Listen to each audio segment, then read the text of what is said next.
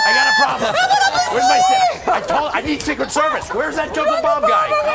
Get over here. It's Uncle Slim! Oh my goodness! Ah!